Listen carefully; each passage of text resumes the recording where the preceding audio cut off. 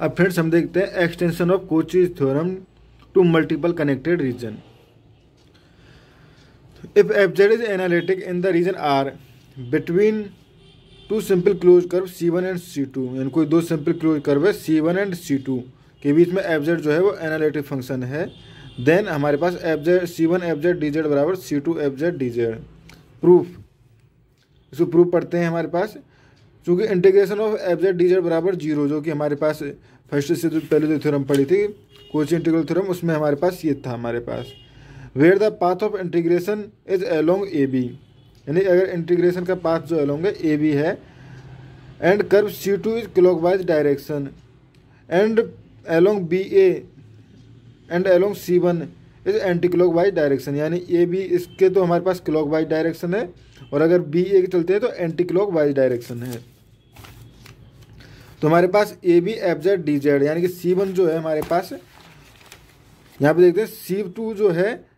वो clock wise direction में और सी वन जो है एंटी क्लॉक वाइज डायरेक्शन में फ्रेंड्स यहाँ से। देख सकते हैं तो एंटी क्लॉक वाइज डायरेक्शन और क्लॉक वाइज डायरेक्शन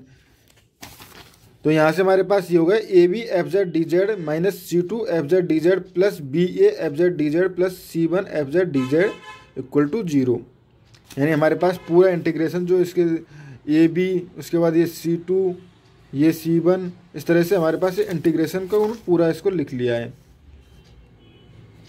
ये तो क्लॉकवाइज डायरेक्शन और ये एंटी क्लॉकवाइज डायरेक्शन ये हो गया तो यहाँ से इंटीग्रेट यहाँ से हो गया हमारे पास minus C two F Z D Z plus C two F Z D Z equal to zero as A B बरा A B F Z D Z equal to minus B A F Z D Z यानी कि चूँकि A B ये clock wise direction ये anti clock wise direction है, सिर्फ़ close direct direction change हुआ है, यानी जो डायरेक्शन हम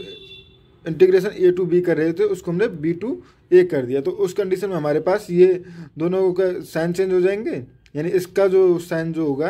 अगर ये एक्स है, इसका वैल्यू एक्स है तो इसकी वैल्यू जो होगी माइनस एक्स होगी। तो इस तरह से ये हमारे पास ज़ीरो हो जाएगा। तो यहाँ से हो गया हमारे पास minus C two F Z D Z plus C two F Z D Z equal to zero तो यहाँ से इसको हम इस साइड में ले गए तो C one F Z D Z equal to C two